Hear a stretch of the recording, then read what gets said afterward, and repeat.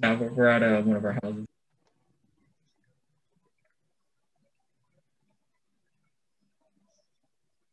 Nice. Uh, let's see.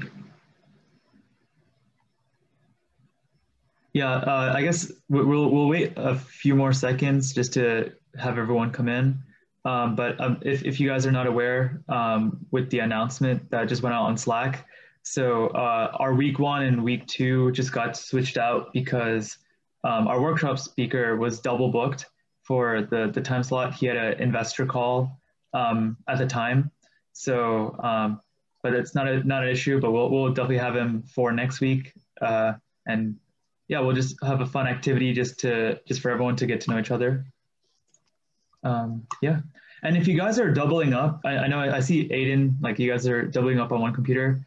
Um, hey, um, if, if you guys can um, maybe split up into two computers, because we are doing breakout rooms and we're pairing people up with uh, different groups just to kind of, you know, for everyone to get to know each other. Um, yeah, I mean, if you guys can do that.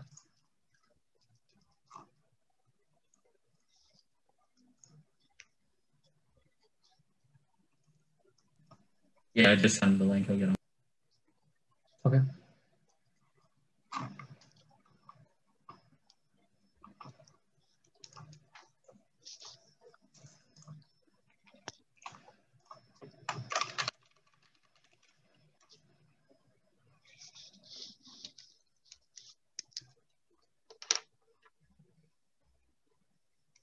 Okay, uh, I mean, Viraj, if you want to kick it off. Sure.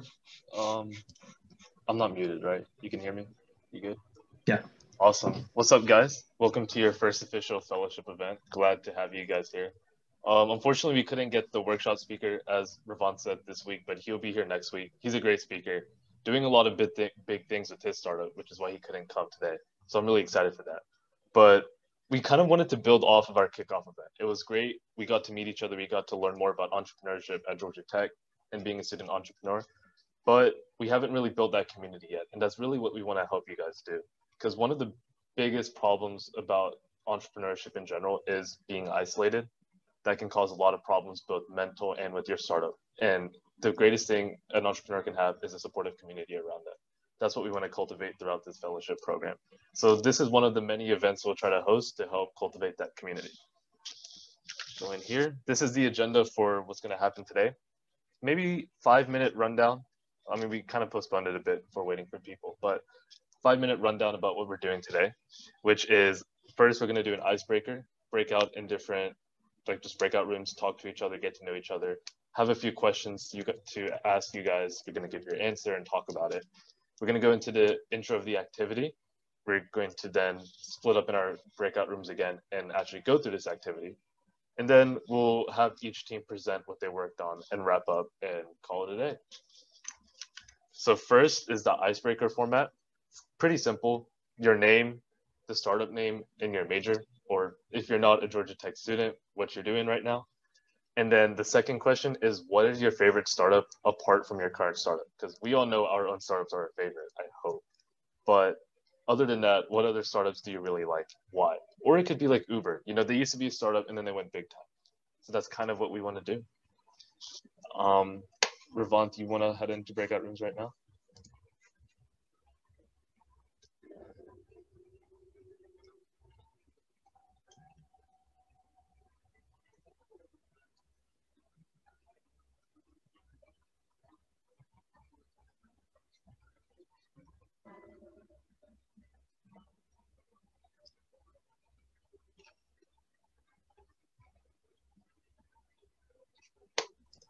Viraj, what's your favorite startup right now? Oh, that's a good one, bro.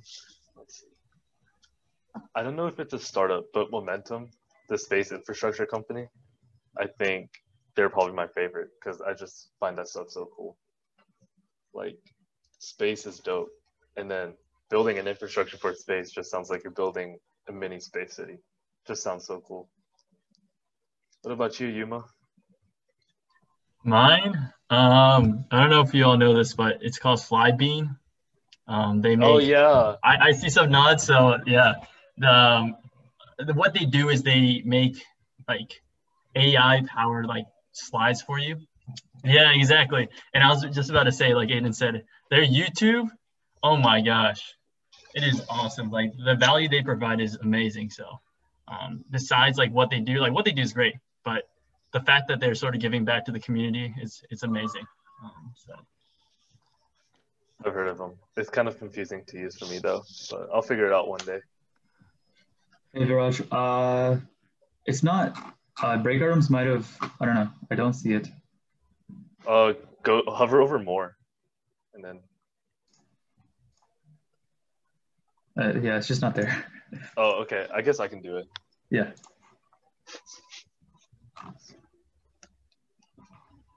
Yeah, you're host. My bad. All right, let's do this.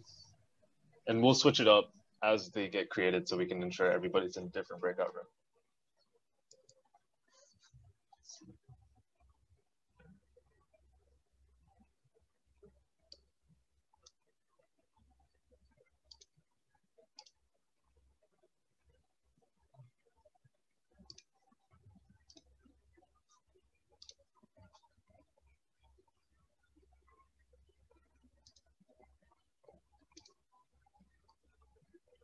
All right, we should be good to go. Oh, never mind, we're not. I hate breakouts.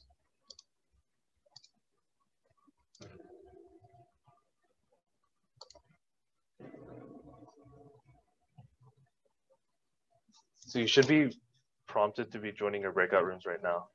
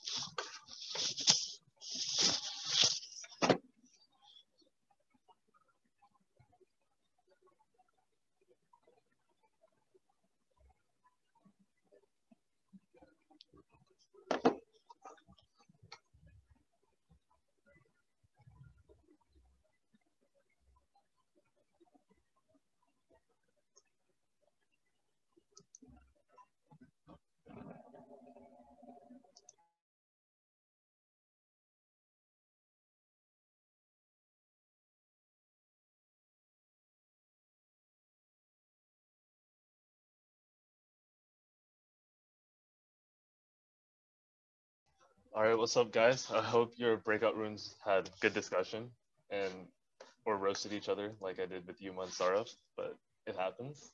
It happens. So, all right, now we're gonna go into the activity for today. Your mission, if you choose to accept it. I don't have my glasses because I left them in my car and my dad had to like do some stuff in my car. But pretend I'm wearing cool glasses right now and not like these computer weird ones. Essentially, there's a company called Rocket Mars.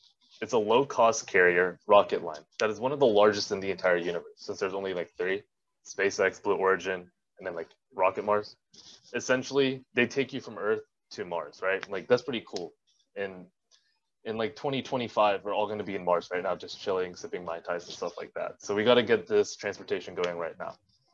A few years ago, the company finally became profitable. Profitable. They were actually making money. After the longest time, they were actually making some money. But SpaceX decided to come in and said, nah, fam, I'm going to ruin your company. They did it by introducing massage chairs in their new rocket, the Roadster rocket. So Rocket Mars came to Startup Exchange and the fellowship team and said, you have a bunch of really bright, innovative people.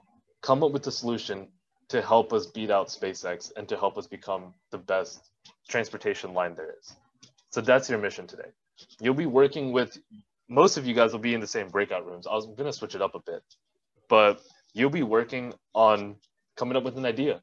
Try to figure out how you can help Rocket Mars beat out SpaceX and come up with a really innovative way to increase their profitability. It can be anything.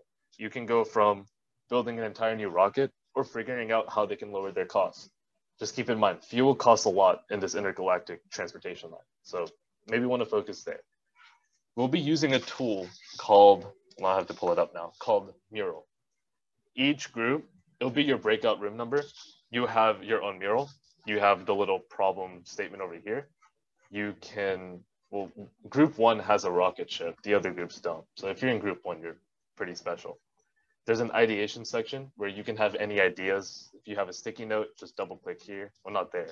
Double click there and you can add a little sticky note. And you type up your final solution here to show off to the other teams. So I'll be dropping the link in the Slack right now. Oh, not Slack, sorry, the Zoom chat. Make sure all of y'all hop on that. I'll also be broadcasting it for people that weren't able to catch it. And now I'm gonna send you back to your breakout rooms and we're gonna start helping out Rocket Mars. Oh,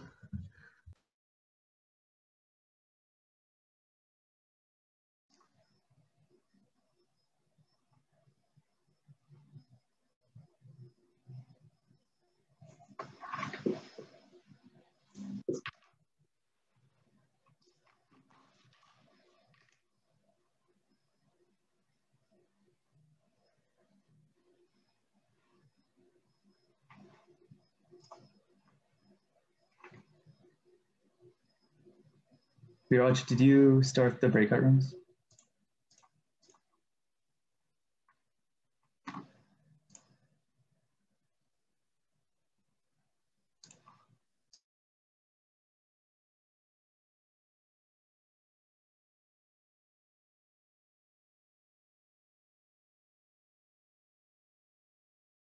Sorry, my I couldn't figure out how to use this thing. They should all be started now.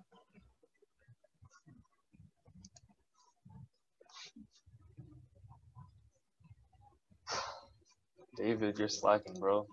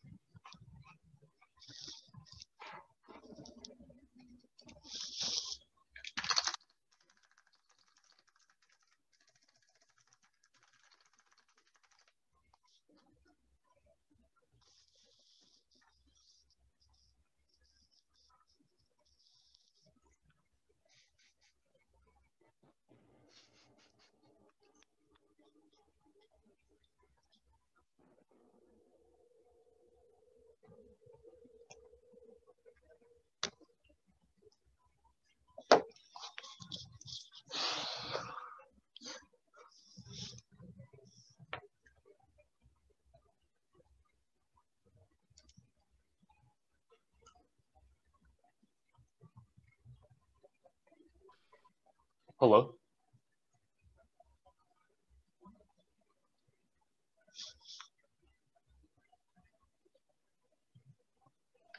Hello. Hi. We're currently in breakout rooms, so I'll be I'll move you to one real quick if you don't mind. Uh, yeah, sure. Well, yeah, sure. Definitely. Essentially, what we're doing is a small group activity to kind of just get to know the other teams a little bit better. Okay. Yeah, so it's not based on team. It's like mix everybody together. Yeah, yeah. We just want to like kind of create that cross team community. Let's see. I'll Okay, sounds a great. Team to put you in right now. Over here.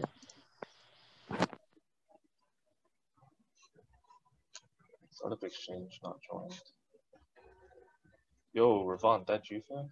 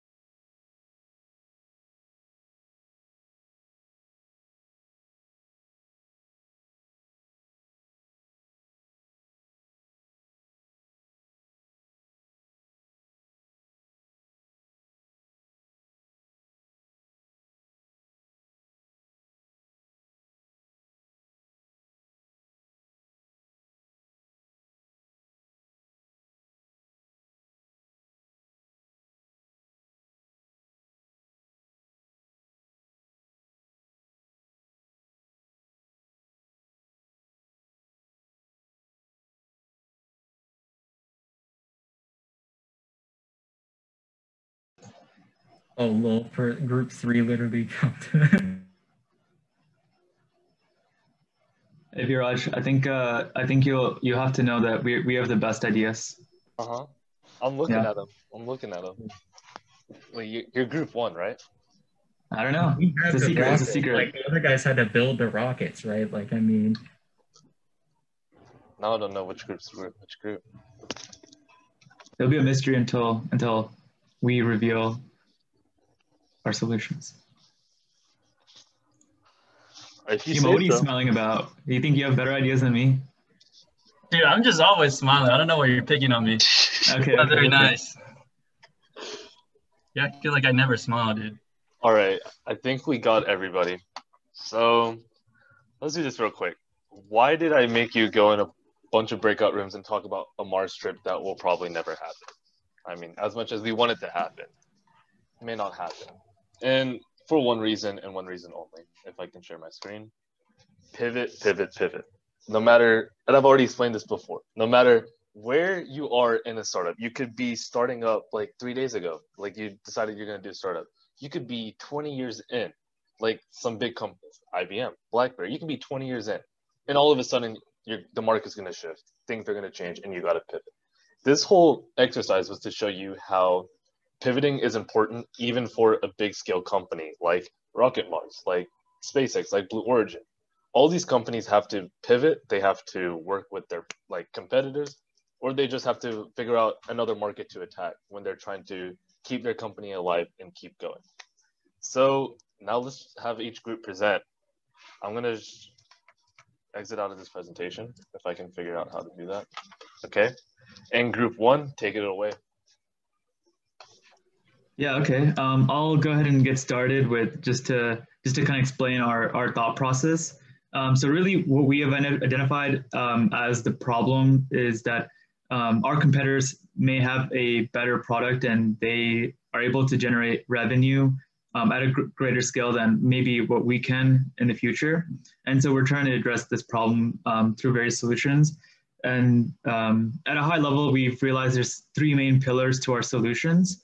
Um, the first being customer experience. We want to focus on what the customer is all about because um, that they're the ones who are paying for this experience, but also um, that's who we're catering to. Um, number two is entertainment. Um, we've done a little bit of research and we found out that it's a it's a seven month trip, so it's not a it's not an easy trip to make. So we, we need to have some entertainment involved. Uh, and then number three is maybe uh, restructuring and seeing what what target audience we're addressing. So maybe having a multi-tiered, uh, multi-priced tiered um, um, rocket system could be cool. So rather than just only exploring premium options, uh, having a variety of options um, is interesting. And um, yeah, we'll get into our solution. So if uh, one of you all want to take out take take on the first idea.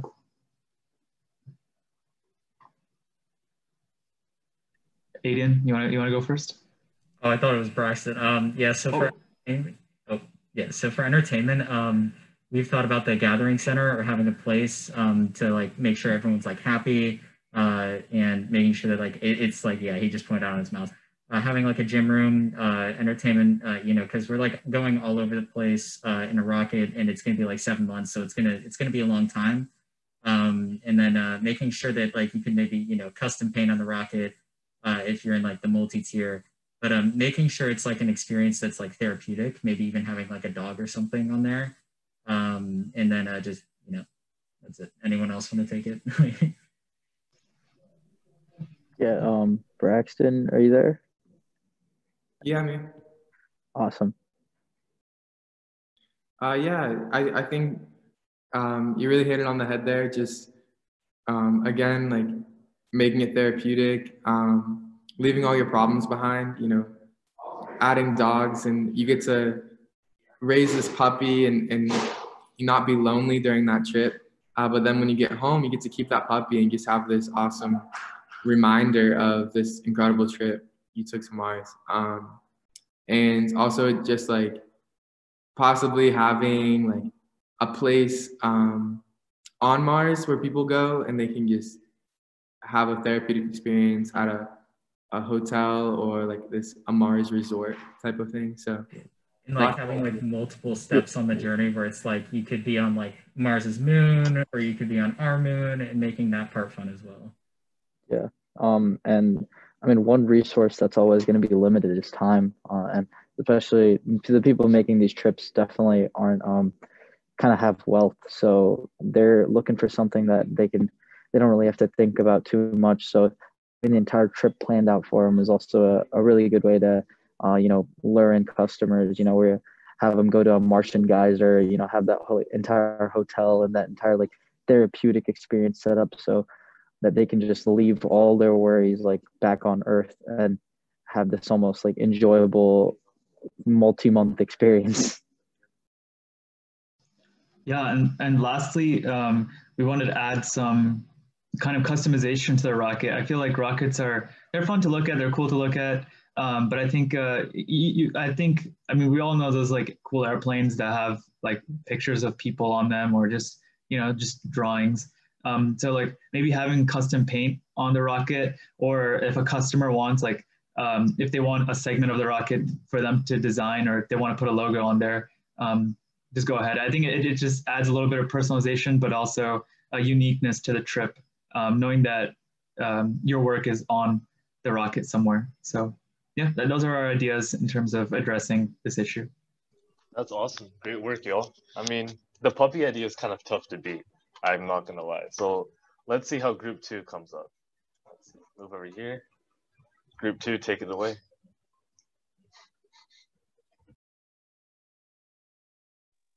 Uh, I can I can talk. Uh, basically, we were looking at uh, we we kind of went full Spirit Airlines on this one. That's kind of what defined our mindset on how we wanted to approach things.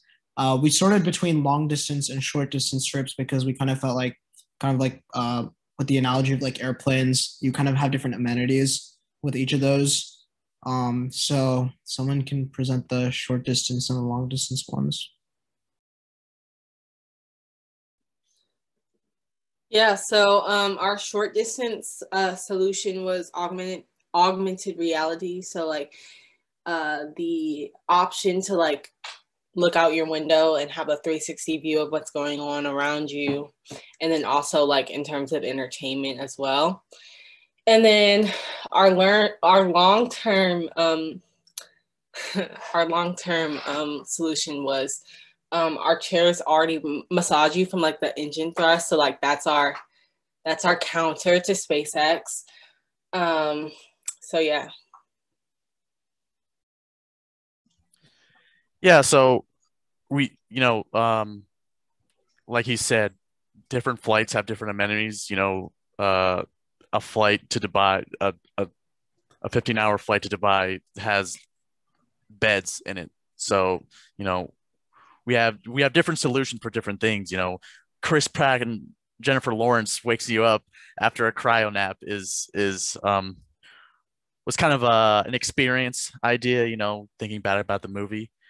Uh, there's also um like electromuscular stimulation. You know, cryo nap's gonna give you atrophy. You know, got to keep when you wake up. You don't want to be just on a wheelchair until you recover.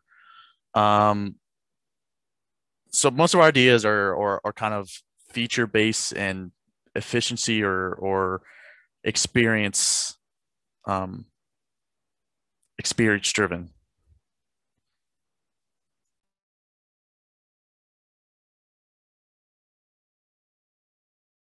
Awesome. Well, not gonna lie, I don't know who Chris Pratt is, but whoever who does know who Chris Pratt is must be really, really happy. Yeah, look, look, sorry, sorry, I don't know.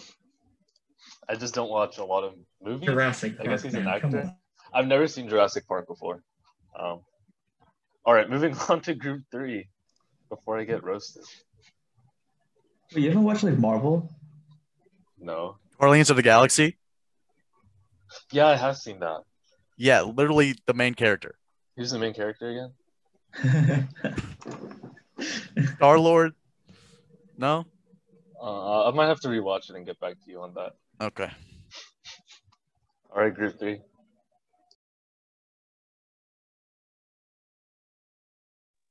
Sure. So our pitch is uh, similar to Group Ones and some of Group Twos, which is the journey. It's it is the journey. It's not the destination.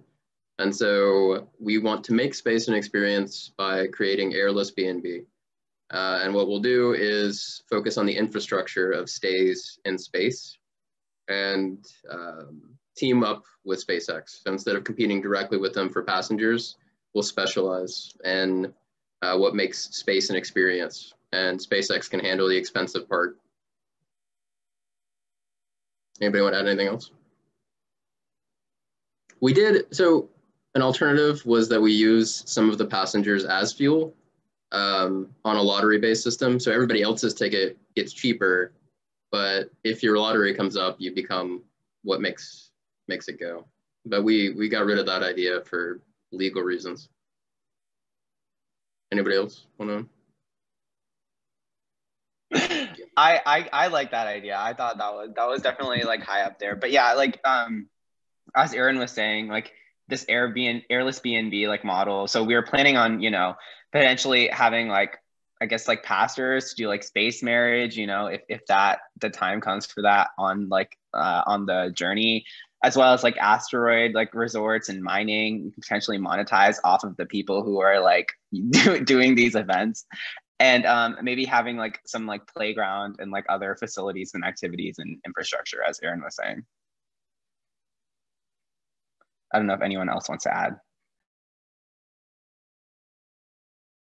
Also, one of their ideas was fighting Elon Musk. I just thought I should throw it out Hey, there. whoa! Why are you just exposing us? Like that's not that's not very nice. Yeah, I just thought the people should know the truth. You know. Okay, You, you so want to put people in the engine, so they're fuel. okay, There's no such thing as bad PR. Okay. I mean, if you guys are okay with it, we'll roll with it. So. All right. Well, let me see. Can I get this? Yeah, that's gonna end it. Thank you guys so much for you know just taking the time coming over here, taking an hour out of your Thursday. Hopefully, you got to interact with a few of your other fellowship teammates a little bit more, created a little bit of a connection there.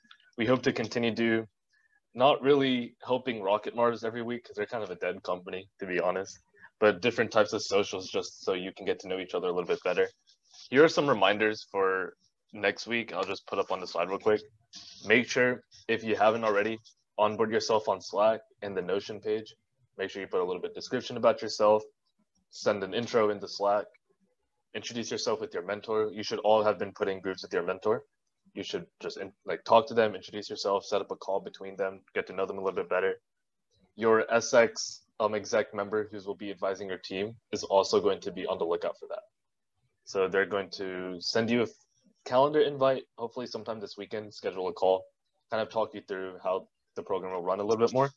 And then next week, our workshop speaker, who has said he will be there, so hopefully he pulls through, will be walking through how to develop a value proposition. So first 30 minutes or so, talk about a value prop, what it is, why you need it, and how to develop it. Next 30 minutes, you'll be working with your teams to kind of come up with your own value prop, and you can always pop back to him and ask questions, get advice on what he thinks. He's doing pretty big things, so I would definitely say on the lookout for this. Thank you. If you have any questions, feel free to like stay at the end and let us know.